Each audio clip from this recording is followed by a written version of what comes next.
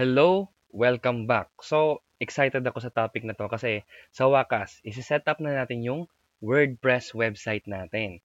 So, actually, sobrang dali. Napakadaling i-set up ng WordPress website natin. So, let's uh, balikan lang natin kung saan where we left off on our previous lesson.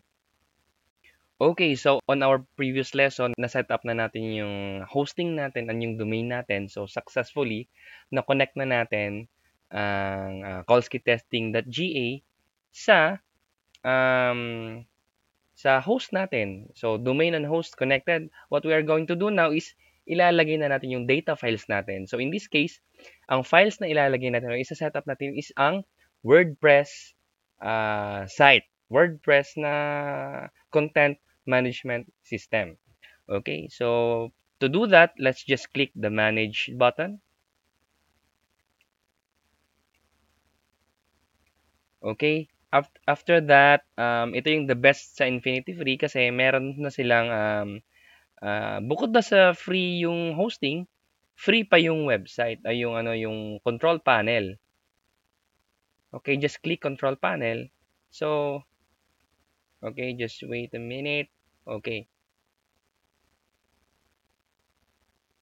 So, we are here na sa control panel and uh, the best ang control panel kasi ang daming functionalities.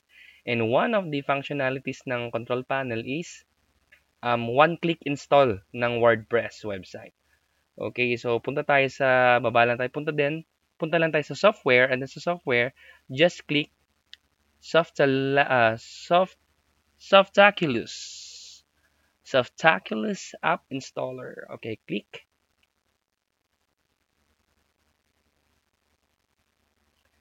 So, once we have click yung app installer na to, just click again yung WordPress kasi ito yung gusto nating i-install. Alright, so andito na tayo. So, sa directory, sa software setup, okay na yan. Yung protocol, yung domain, okay na rin. Yung directory na lang, tanggalin natin yung WP. And then, dito na tayo mag magde-decide ano bang ano bang magandang pangalan ng website. Um, Kolsky testing ang baduy eh, pero sige lang. Pang testing lang din naman eh. Kolsky testing. Okay. This is just a testing website. Parang yun yung definition or site description mo.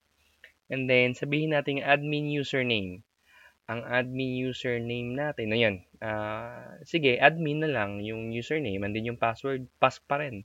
Okay na yan. Okay, so ang admin email natin is admin at callskeytesting.ga. Okay lang yan, walang problema dyan. And then, baba tayo, baba tayo sa Teams. Wag na muna yan. Okay na yan. And then, punta tayo sa install. Alright, email installation details to gusto ko i-email natin yung ano yung installation details sa email address natin. So Kolsky test at gmail.com. Okay? So what what this does is lahat ng uh, details tulad ng password, um, admin link, um, and most of the necessary details is i-email niya sa atin sa email address na. And then once na set up mo na lahat, just click install. And then just wait for the magic to happen. Okay? And yun, ganun kabilis. Tapos na, na-install na ang um, WordPress natin. So, okay. Ito yun, the, the, the final moment. Ano kayang itsura na ng website natin?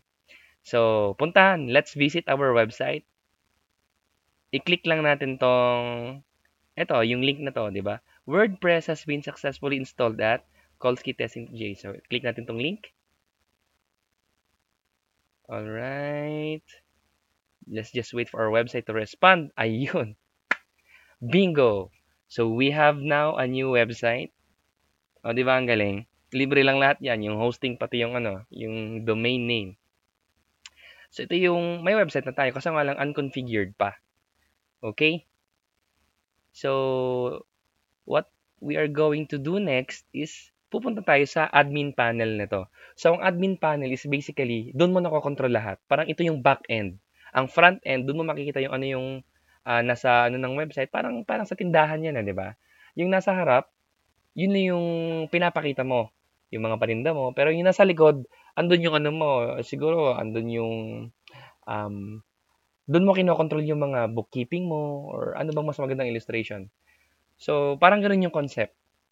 Nasa labas yung pinapakita mo, and then nasa loob, doon yung controls mo. So, ito yung nasa labas, and yung sa loob naman is i-access natin through this link. Ito, administrative URL. So, ang administrative URL, just click this link and we will be redirected to the dashboard. Okay, so welcome to the WordPress dashboard. Okay. So, as you can see, punta tayo sa mailbox natin. So, in case makalimutan mo yung mga links, isa-send naman yun sa ano mo, sa email mo. In-email na ni Softaculous app yung mga necessary details. So, andito na yung URL ng website natin, yung admin URL, yung username, and then yung password. So, andyan na lahat. Yung SQL database, database username, host, yung password, lahat. Lahat andyan na. Okay? So, uh, that's just it for this lesson. And then on the next lessons, we will be discussing yung specific how to operate the WordPress website. Okay, so stay tuned on this very exciting series. All right.